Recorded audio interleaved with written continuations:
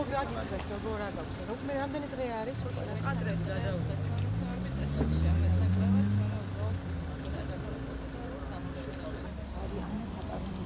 კი, განსაკუთრებით ახალი პრეზიდენტი.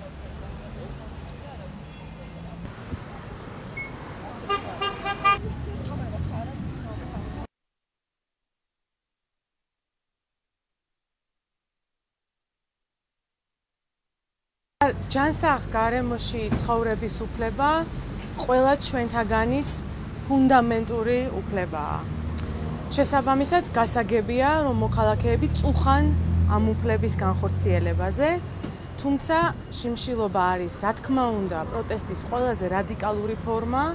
ჩვენ დღეს აქ მოვედით, რომ მოვინახულოთ მოშიმშილეები, მოუწოდოთ მათ, რომ განსაკუთრებით დიდი ზიანი შიმშილობის აქციით არ მიაყენონ საკუთარ ჯანმრთელობას და ყველა იმ დემოკრატიულ საზოგადოებაში დადგენილი მეთოდებით უნებრივია ჩვენმა მოქალაქეებმა უნდა განახორციელონ საკუთარი სურვილები და უნდა განახორციელონ საკუთარი პოლიტიკური მოთხოვნა. რაც შეეხება მათ მოთხოვნას, გადადგომას მოითხოვენ ისინი ეკოლოგიის სამსახურის ხელმძღვანელებს და დავით ნარმანის პასუხისმგებლობის საკითხზე საუბრობენ. თქვენ გამდენად იზიარებთ ამ მოთხოვნას და არის თუ არა ეს რეალურად ის წესრიგი უნდა იყოს თუ არა?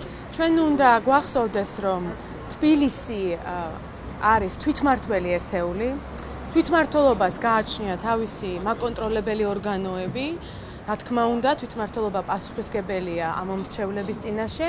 შესაბამისად, იმედს გამოვთქვათ აქ უკვე პრეზიდენტის სახელით, რომ ყველა ის მექანიზმი, რომელიც დაწესებულია მსგავსი შემთხვევებისათვის, ეფექტურად ამუშავდება. ჩვენ დღევანდელი აქ მოსვლის მიზანი არის მოშიმშილი ადამიანების მონახულება. ცხადია ის, რომ ჯანსაღ გარემოში ცხოვრება არის ჩვენი ყველას ფუნდამენტური უფლება, რაც გარანტირებულია ჩვენი კანონმდებლობით და ადამიანებს აქვთ ამ კუთხით თავიანთი პროტესტის ლეგიტიმური ფორმებით დაფიქსირების საშუალება. ჩვენ მოვინახულეთ მოშიმშილეები, ჩვენი თხოვნა არის მათდამი რომ იქნებ კიდევ იყოს დიალოგის რესურსი, იქნებ კიდევ გამოინახოს გზები იმისთვის რომ დიალოგის რეჟიმში და არა ასეთი რადიკალური ფორმებით დაფიქსირდეს პროტესტი.